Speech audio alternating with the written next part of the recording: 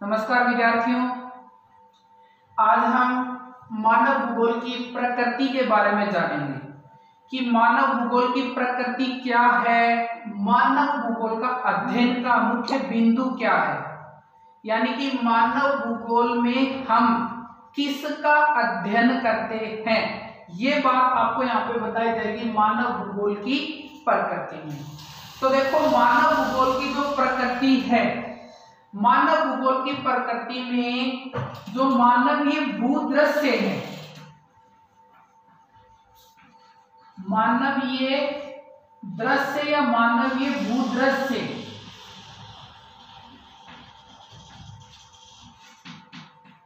हमें पृथ्वी पर जो भी मानवीय दृश्य दिखाई देते हैं, उन सबका अध्ययन मानव भूगोल के अंतर्गत किया जाता है। मानवीय दृश्य का मतलब है यहाँ पर मानव का सांस्कृतिक वातावरण। मानव का सांस्कृतिक वातावरण। जो मानव का सांस्कृतिक वातावरण है, उसमें जो कुछ भी हमें दिखाई देता है, वो सब मानव भूगोल का अध्ययन है। उनका अध्ययन मानव भूगोल की प्रकृति में हमें करते हैं। यानी कि सांस्कृतिक वातावरण देखो, मानव के द्वारा निर्मित आवास, सड़कों, मानव के द्वारा रेल मार्गों का निर्माण, पुलों का निर्माण, कृषि कार्य, भूमि, खेल के मैदान, यानी कि मानव के द्वारा निर्मित जो भी संरचना हमें दिखाई देती है, वो सब मानव भूगोल की प्रकृति के अंतर्गत समाहित है। और उस संरचना से संबंधित अध्ययन फिर मानव भूगोल में हम करते हैं। जैसे कि आवास ले लो आवास, मकान या अधिवास।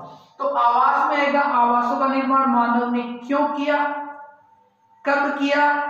करने की आवश्यकता क्यों पड़ी? यानी कब है, क्यों है, कैसे है? इस प्रकार के जो प्रश्न हैं, उन प्रश्नों का उत्तर मानव भूगोल के अंतर्गत दिया जाता है, जो मानव भूगोल की प्रकृति है। मानव ने आवासों का निर्माण क्यों किया?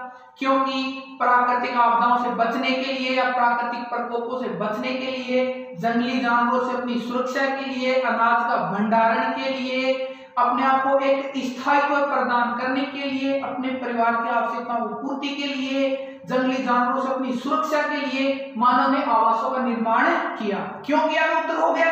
तो फिर भूगोल उसका वर्णन बताएगी कि क्यों किया मानव ने? कब किया? यानी कि जब मानव ने जंगलों को छोड़ करके या खेत का कार्य छोड़ करके कृषि कार्य करना प्रारंभ किया, तब से मानव ने अधिवासों का निर्माण प्रारंभ किया था। तो इस तरह से जो मानव भूगोल की प्रकृति है, इसमें मानव से संबंधित जो मुद्दे हैं, मानव का जो सांस्कृतिक वातावरण उसी का अध्ययन होता है। लेकिन उस अध्ययन का विकास कब हुआ, क्यों हुआ, कैसे हुआ, आदि बातों को प्रस्तुत मानव भूगोल की प्रकृति में किया जाता है। अब देखो, बात है इसको लिखने की कि हम किस तरीके से इसको लिखेंगे, किस तरीके से मानव भूगोल की प्रकृति क्वेश्चन आ जाए तो उसका हम डेफिनेशन करेंगे, किस तरह से उसको हमें बताएँगे। तो आपको मानव भूगोल की प्रकृति में बताना है। कि पृथ्वी पर जो भी मानव निर्मित दृश्य, पृथ्वी पर क्या है? जो भी मानव निर्मित दृश्य दिखाई देते हैं, उन सब का अध्ययन मानव भूगोल में किया जाता है। पृथ्वी पर जो भी मानव निर्मित दृश्य दिखाई देते हैं, उन मानव निर्मित दृश्यों का अध्ययन मानव भूगोल के अंतर्गत किया जाता है। इसीलिए मानव भूगोल का इसीलिए मानव भूगोल का केंद्र बिंदु मानव को माना गया है। या फिर ऐसे मान लो, इसी कारण मानव भूगोल का अध्ययन का केंद्र बिंदु मानव है। मानव का विकास कब क्यों? वह कैसे हुआ?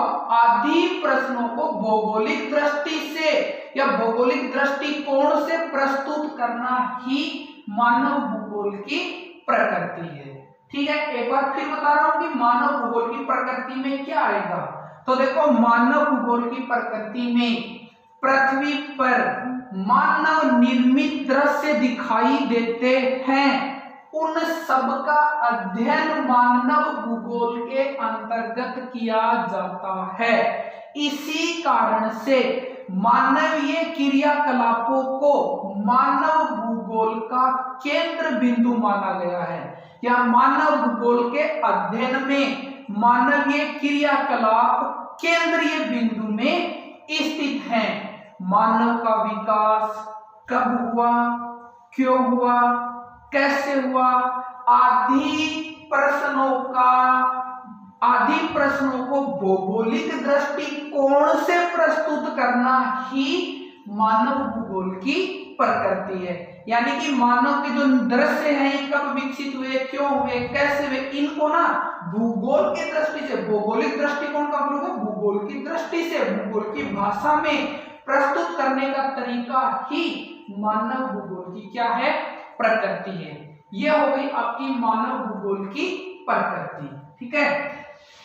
मानव भूगोल की प्रकृति के बाद आता है मानव भूगोल की शाखाएँ।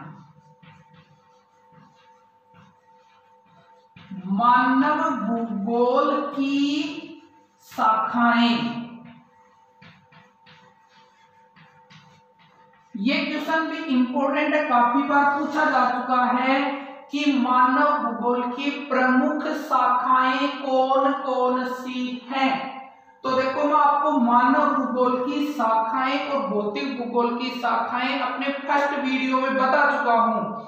इसके अतिरिक्त एक बार फिर से मानव भूगोल की प्रमुख शाखाओं के बारे में बता देता हूँ। तो मानव भूगोल की जो प्रमुख शाखाएँ हैं, उन शाखाओं में आर्थिक भूगोल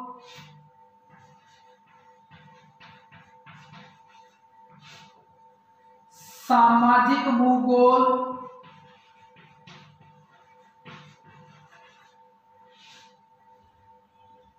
चिकित्सा भूगोल।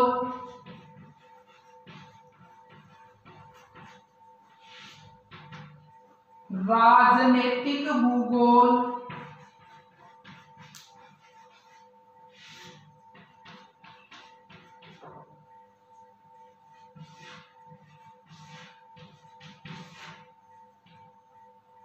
आर्थिक भूगोल सामाजिक भूगोल चिकित्सा भूगोल राजनीतिक भूगोल और एक हो जाएगी आपकी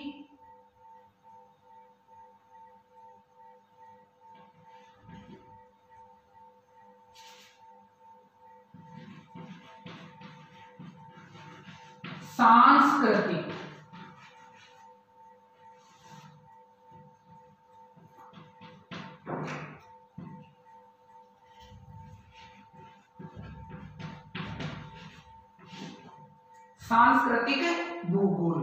ये क्या है? ये मानव भूगोल की प्रमुख शाखाएँ हैं। आर्थिक भूगोल, सामाजिक भूगोल, चिकित्सा भूगोल, राजनीतिक भूगोल और सांस्कृतिक भूगोल। यदि ये नाम ऐसे सीधे याद नहीं रहते हैं तो आप इनके जो फ़र्स्ट अक्षर हैं, इनको जोड़ करके ट्रिक बना सकते हैं। एक सूत्र भी बना सकते हैं। जैसे आ, सा, ची, रा, सा। यानी इसकी ट्रिक हो जाएगी आशा चीरा सा ट्रिक क्या बनेगी इसकी? ट्रिक बनेगी आशा चिरासा सा साथियों ये लिखना सामाजिक वर्ग आशा चिरासा और इससे मानव भूगोल की पाँचों शाखाओं के नाम हो जाएँगे। आ से आर्थिक भूगोल सा से सामाजिक ची से चिकित्सा रा से राजनीतिक और सा से सांस्कृतिक भूगोल। ये है मानव भूगोल की प्रमुख शाखाएँ। इनके साथ मानव भूगोल की शाखा में एक ट्यूशन और बनता है। वो ट्यूशन ये है कि 1930 के दशक में